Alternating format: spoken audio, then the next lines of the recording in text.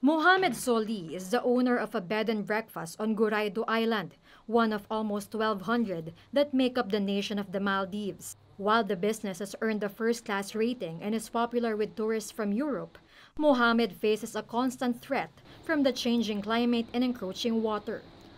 Korea dia බොඩුවගෙන් රට හවර බොඩක් මෙහර පා ගෑකනක වේතුව මිදිය හා දුවස්තරය ගම කුරිය පුරෙන් බොඩ ඇති එබ නෝටිස් පුරව මෙහාරු.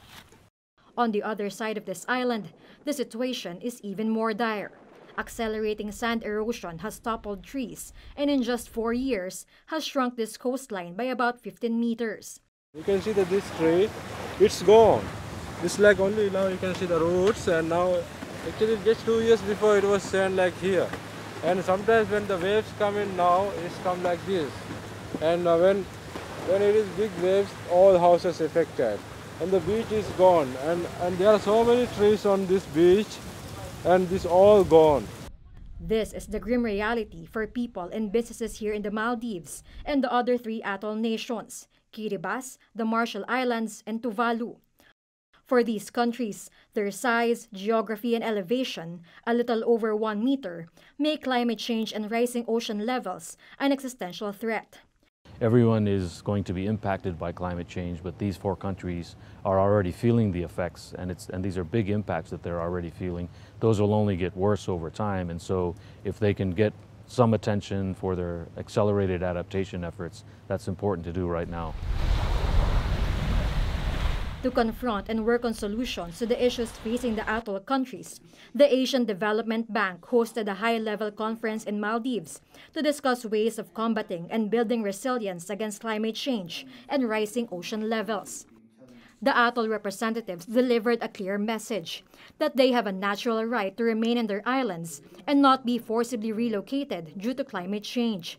There's no plan B. We're not moving uh, away from our c- island. Um, we are here to stay. migrating to a foreign land is not an option for us.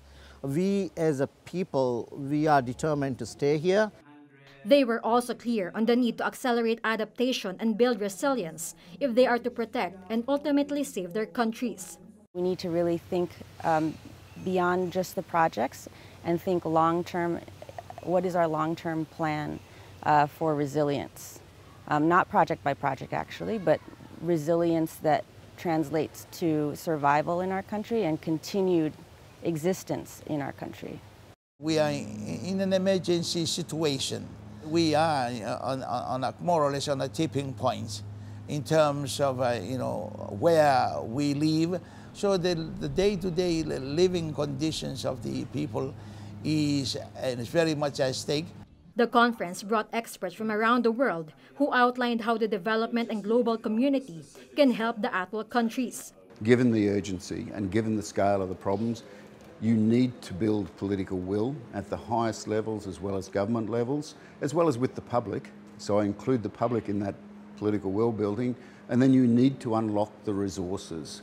It does require investment to get us from a situation where the oceans are in decline in crisis to one where it's a sustainable situation where these communities have a future.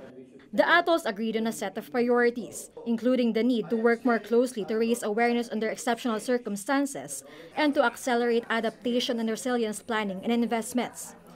They also discussed continued collaboration with ADB, which is already spearheading a range of actions to help the atoll countries. ADB has committed $5 billion to an action plan for healthy oceans, focusing on sustainable tourism and fisheries, protecting marine ecosystems, cutting down on pollution, and sustainable coastal infrastructure. ADB is also investing heavily in climate change adaptation projects such as water supplies, sanitation, flood control, and transport and energy infrastructure.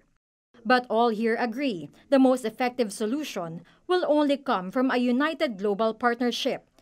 For Mohamed Zoli and the people on Guraidhoo Island, the action needs to happen now. Duko